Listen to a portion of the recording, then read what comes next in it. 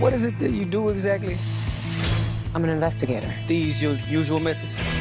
I need to find out what happened to my sister. Who do you think killed her? We don't know that yet. How about a hint?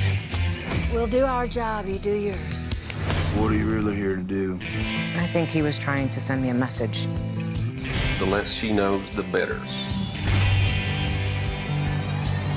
You better watch yourself.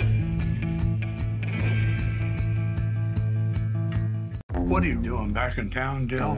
I need to find out what happened to my sister. We are declaring a manhunt. Lock your doors. I'm gonna give you some advice. Do not believe a single word. What did she have to be afraid of? Tell me who did it, or so help me God. I will burn this city to the ground. Is it bad this is turning me on a little bit?